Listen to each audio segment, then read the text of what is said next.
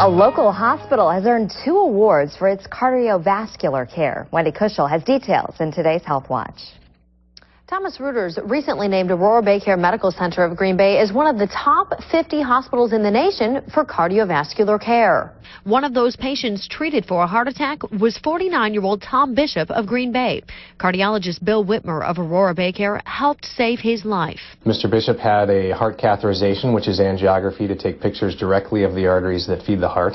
And then to fix his blockage, we uh, performed a stent procedure where we insert a small metal tube to expand and dilate the blockage and open up the blood flow to the heart. It's work like this that recently also earned Aurora Baycare a Gold Performance Award from the American College of Cardiology. Dr. Witmer says for doing the right things for heart disease. Giving the right medications at the right times, treating patients as quickly as possible, and getting uh, patients uh, treated for their heart disease immediately when they're having a heart attack, getting uh, their arteries open within 90 minutes of their presentation at least. It was even quicker than that for Tom. Uh, from the time the heart attack started to the time they opened up my artery was 20 minutes.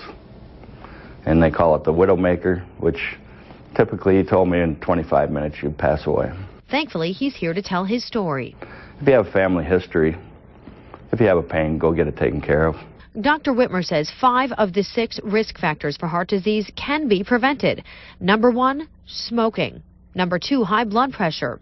The third, diabetes. Number four, high cholesterol. The fifth, obesity. And lastly, a family history of it. If you have a strong family history, you should have your cholesterol checked every year. To learn more on Aurora Baycare's cardiovascular care, you can call 1 866 938 0035.